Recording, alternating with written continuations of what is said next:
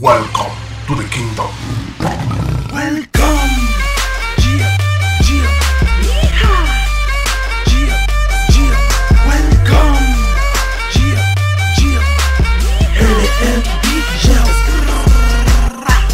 Welcome tropa de bestias, espero que estén muy bien, sean todos bienvenidos a mi canal, soy el motherfucking Leon Man y ya estamos listos y dispuestos para hacer un video más de análisis, review y una que otra teoría entre medio, puede ser de vez en cuando, ¿por qué no? De lo que es el capítulo 860 de One Piece, un capítulo que debo decir desde ya que me pareció genial, espectacular, revelador, uy señores, se nos mostró la recompensa más alta vista hasta el momento, así que hay mucho que analizar, así que sin más preámbulo, vámonos con el capítulo. Este partió básicamente con ahí una conversación entre los Yojin y Pecoms, entre eso también un flashback en donde se veía a Jinbei diciendo a Sun Nakamas que él estaba dispuesto incluso a dar la vida por su capitán Monkey D. Luffy, lo que nos confirma a todos nosotros ya que el décimo Nakama está pero ahí, ahí, listo, listo para entrar a la banda. Sería una troleada enorme, tremenda troleada, que al final de esta saga quedara bastante mal herido e incluso muerto, aunque eso es bastante difícil porque sabemos todos que en One Piece no mueren los personajes, pero pongámonos en el caso de que Jinbei quedara bastante mal herido y Oda nos troleara con el décimo Nakama sería bastante fuerte para Luffy. Esperemos que no, esperemos que no pase. Pero hay que estar en, todos los casos, por si acaso. Es que me causó más que nada curiosidad la frase que dijo Jinbei que estaba dispuesto a dar su vida por su capitán Luffy. Entonces, si hubiera sido solamente dicho que él iba a acceder a ser Nakama de Luffy, que ya no tenía más planes con Big Mom, que quería derrocarla, todo eso, perfecto. Pero cuando dijo estoy dispuesto a dar la vida por mi capitán, me dejó como ahí Cuídate Jinbei, cuídate por favor, que te queremos como Nakama cabrón, así que cuídate. Pecoms está bastante incrédulo porque, bueno, él es el único que no sabe el plan que se está llevando a cabo para derrotar a Big Mom, así que él está consciente de que todo el que le da la espalda a Big Mom no sale vivo de la isla, así que lo van a dejar ahí amarradito mientras los Gyojin escapan. También se nos muestran a estos personajes, se nos presentan a los personajes del bajo mundo, en realidad no quiero nombrarlos uno por uno, ni dar sus características porque se supone que si ustedes están aquí es porque ya vieron el capítulo, entonces ustedes saben a quién me estoy refiriendo. Lo que sí quiero decir muchachos es que no quiero dar teorías con respecto a estos personajes y sus poderes aún porque no hay información suficiente y necesaria para poder teorizar.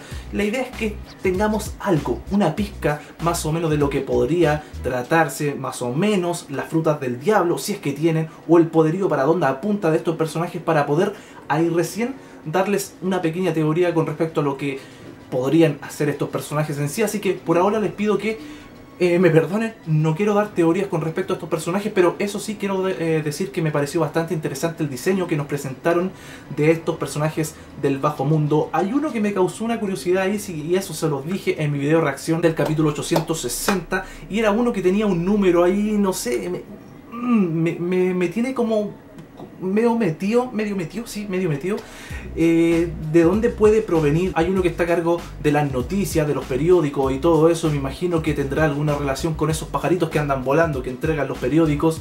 Así que, no sé, hay mucha influencia sí en el bajo mundo. Esperemos, al menos a mí, por lo menos me gustaría que estuvieran ellos en una isla aparte, algo camuflada, algo subterránea. Sería maravilloso igual que estos pudieran estar en una isla aparte. Al menos a mí me gustaría que fuera así. Pero Speros, uno de los hijos de Big Mom, nos muestra su habilidad de crear una escalera.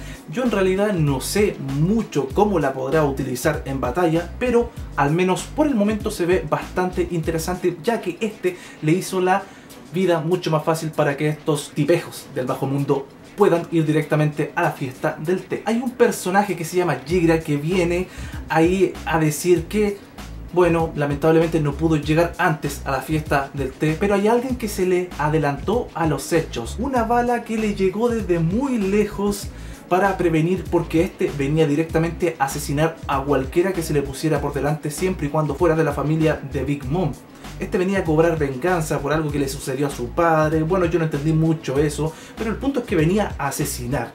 Y ahí es cuando se nos muestra a este nuevo personaje, Katakuri, el segundo hijo de Big Mom, tercer comandante de la familia Charlotte. Ay, qué personaje, Dios mío. La habilidad que tiene de el haki, observación, adelantarse a los hechos, ver el futuro. Eso está peligroso. Eso incluso podría poner muy en jaque los planes que tiene Capone y Luffy para llevar a cabo esta masacre que pretenden hacer. Me, genera ahí ese miedo de que las cosas no vayan a resultar como ellos lo tienen planeado, puesto que este personaje que ve el futuro gracias a su haki de la observación, que bueno, estamos más que claro que eso va a traer muchos problemas y que por lo demás es la recompensa más alta que se haya visto hasta la fecha. No sé si la recompensa será por el nivel de poder. Todos sabemos que las recompensas que se ponen altísimas no siempre representan el poder del enemigo, sino que también su peligrosidad y la amenaza que estos provocan hacia el gobierno mundial. Así que no nos confundamos y no nos generemos mucha expectativa aún de que si este personaje tiene gran cantidad de recompensa es automáticamente porque es fuerte. No señores, esperemos todavía porque eso no se puede asegurar. Y el capítulo finaliza ahí con todos los invitados, o al menos los que creemos que son todos los invitados por el momento de la fiesta del té, cuando Big Mom le dice por favor disfruten del pastel, de los dulces, de todo lo que hay y todo lo que vendrá porque esto va a estar muy bueno. Ahí terminó el capítulo, muchachos. Yo en lo personal debo decir que a mí me encantó. Lo mejor de todo es que no hay pausa de One Piece. El manga va a estar siguiendo continuado al menos hasta la próxima semana que ya debería estar empezando esta guerra de todos contra todos. Va a ser una batalla campal al más puro estilo de Royal Rumble de la WWE. Eso va a estar pero para chuparse los dedos. Me gustaría ya eh, no sé, crear algunos feudos, feudos, lo siento, tengo algunos términos de la WWE pegado, eh, algunos combates que yo creo que podrían darse, al menos a mí me gustaría que sí o sí Big Mom se enfrentara con Luffy, pero dudo mucho que Luffy vaya a hacerle frente solo, así que seguramente también tendremos a Capone, al padre de Sanji también, ahí incluido en ese trío para hacerle frente a Big Mom.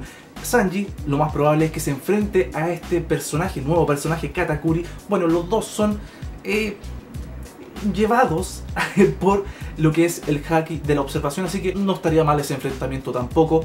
Me gustaría Reiju y Nami versus Pudin, eso también estaría para chuparse los dedos. Por ahora no se me viene a la mente ningún otro enfrentamiento más que podría darse, pero en el caso de que se me ocurriera otro, haciendo como una especie de teoría de los futuros enfrentamientos que se van a dar en esta guerra, se los voy a ir comunicando mientras pasen los capítulos o en el mismo video reacción o en el video análisis posterior.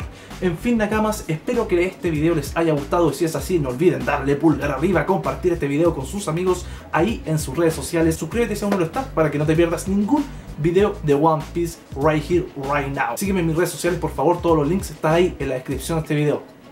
¡Yeeha! Exit from the kingdom. Gracias por ver este video.